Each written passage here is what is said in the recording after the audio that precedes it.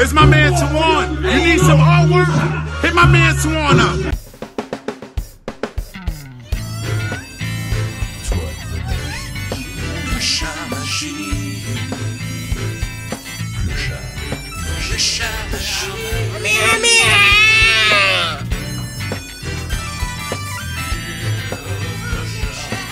hello.